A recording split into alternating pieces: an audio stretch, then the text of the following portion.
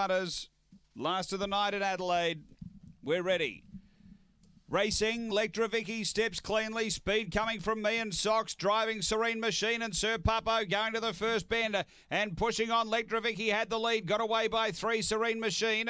Uh, then came half a mil. Out wider run Rosie. Sir Papo drop back. Zambora Tyler in front of it with Little Miss Show and me and Socks, but off the back. And Lectra Vicky away by four. Serene Machine cutting the margin back a bit. Then Zambora Tyler they turn. Lectra Vicky in front. Serene Machine up on the inside. Zambora Tyler late, but Serene Green Machine beats Zambora Tyler, Electra Vicky, then half a mil from me and Socks. They were followed by Little Miss Show and back toward the tail end is Sir Papo.